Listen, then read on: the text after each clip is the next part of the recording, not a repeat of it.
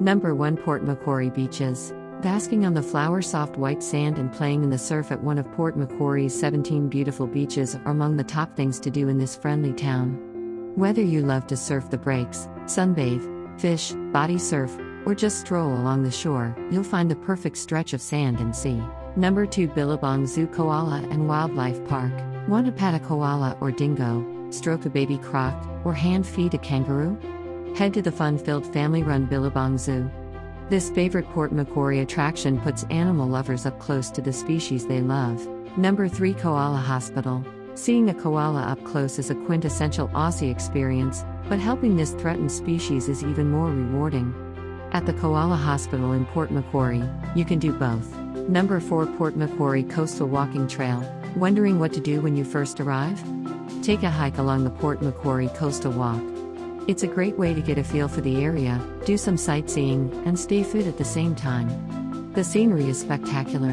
Number 5 Tacking Point Lighthouse. Perched high atop a rocky point, picturesque Tacking Point Lighthouse presides over Lighthouse Beach with spectacular views along the coast. In the early 19th century, the explorer Matthew Flinders tacked off the coast here, giving the point its name. Number 6 Sea Acres Rainforest Center. Ever heard of a land mullet? It's Australia's largest skink, and this chubby black reptile is frequently spotted from the Rainforest Boardwalk in Sea Acres National Park, along with many other rainforest residents. Number 7 Hastings River. Gliding along the Hastings River into Limeburners Creek National Park offers a unique perspective of this laid back coastal town. Not only can you see the town from the water, you also have an excellent chance to spot some of the resident wildlife in the national park.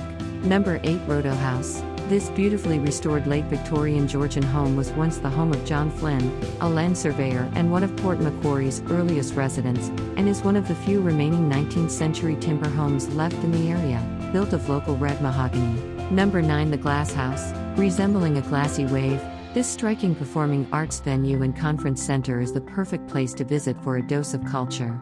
It also makes a great first stop before you head out to tour the town. Number 10 Port Macquarie Museum. Housed in a cheery red brick building, this worthwhile little museum unveils the town's history, including its first inhabitants, the Birpai people, its convict past, the lucrative timber industry, and its rich river and maritime history. It's a great place to visit when you first arrive to learn about what makes the town tick. Hope you like this video. For more videos, please subscribe to our channel.